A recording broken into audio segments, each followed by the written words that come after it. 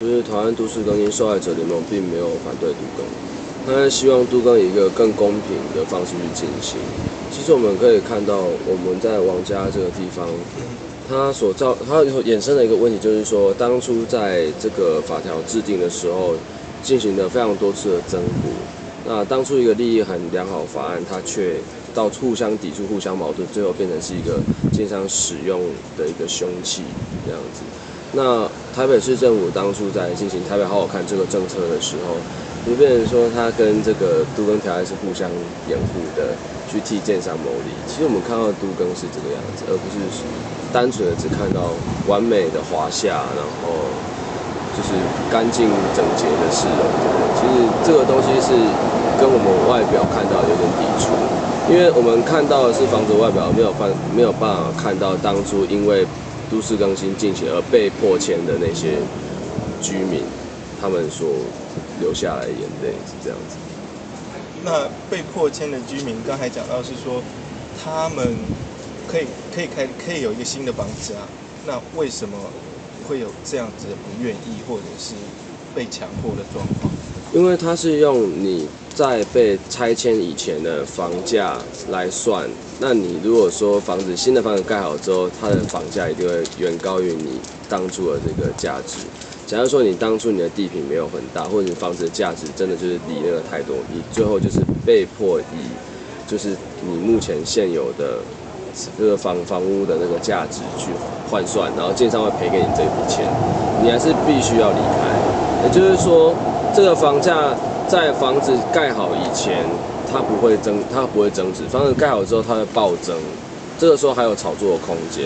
所以许多原来的住户，他们是没有办法负担一个新的房子的。那地主的部分也并不是所有地主都有办法负担。像这个地方，它原本有三十六户，呃，有三十八户。这三十八户里面，最后为什么只剩下十二户在继续就是愿意留在这边去等待房子？因为许多人他们的家非常的小，他们小的平房，房屋的价值并没有很高。那更就是更新后的价值提高，他们一定没有办法买得起。那之前他们现在怎么办？他们之前现在在附近或是更远的地方，就是租房子，然后没有办法拥有自己一个就是原本可以使用的地，他们被迫离开这里。所以并不是说可以以原本的以地然后来换地，然后以一平换一平这种一般来听起来很完美而且对自己有利的这个模式，并不是完全是这样子。它要经过一个价值的换算，这个价值换算有的时候对于这种老旧社区来说，原本的居对这个老旧社区的原本居民来说是不公平的。那我之前有听说的一瓶换一瓶是真的吗？是这种事情？有些地方是，但是基本上就看建商怎么跟你谈。那这个问题其实有点没有办法说是看这个地方了，因为全台北市都跟。争议案件有六百多起，每一个每一起它背后的故事都不一样。那一瓶换一瓶是一个最理想的状态，但基本上是不可能。很多地方是没有办法，因为建商他为了要谋取利益，他不会就是那么开诚布公的去跟你换取这些东西，他还是会希望你最后还是得用一笔钱去跟他买房子。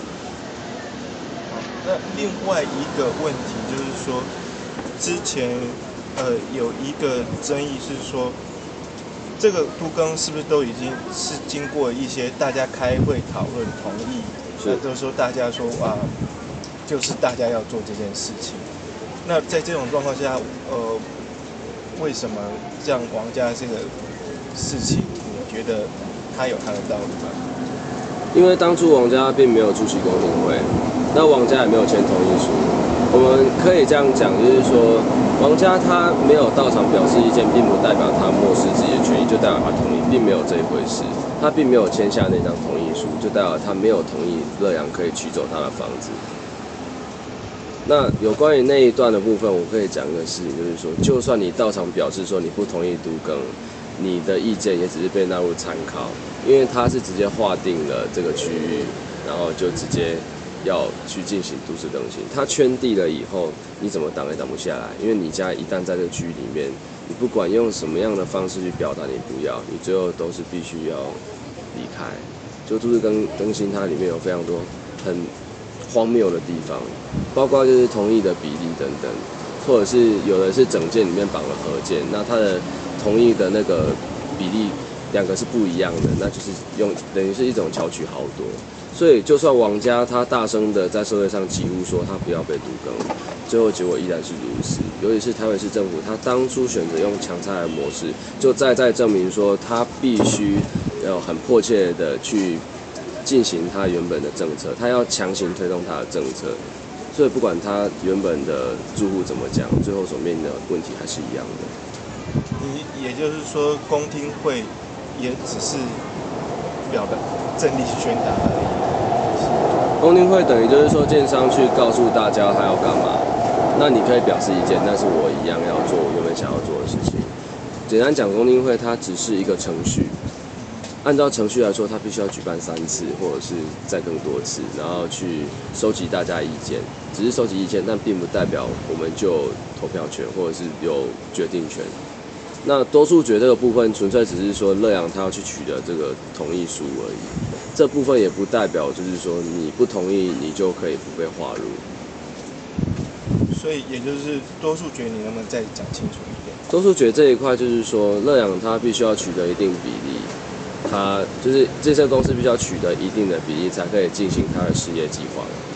那事业计划书在就是在取得这个东西以前，他的这个公听会一样要开，他有很多程序要做，但是他并没有一定，就是他的法律是定一个程序出来，而并不是定一个条件。他定了这个程序出来，只要那样满足了这个程序，他就可以继续去进行这一块地的掠夺。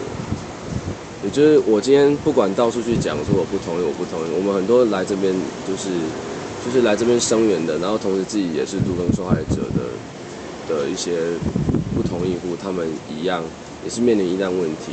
他们存证信函也寄过去都市发展局了啊，然后可是一样的结果，他们还是必须要面临，最后还是必须要破钱，只是时间的问题。它有点像是一个。你如果非得要做的话，就是你必须要有很大的权利，像像这个旁边的郭元义这样子，他说他不要，那这样也不敢动他。那像那一栋，则是因为他的那个容积奖励已经用完了，然后乐阳觉得拆它会不划算，所以就被留下。这有很多就是很现实的东西，它并不完全就是，并不完全是，嗯，怎样讲就是多数觉得它本来就不好了，我应该是这样说。他没有，他是很片面的代表大多数人声音。好，谢谢。呃，我没有什么想问你，想问吗？还是还是？你不是说一镜到底吗？没办法，那现在已经还是我已经讲了。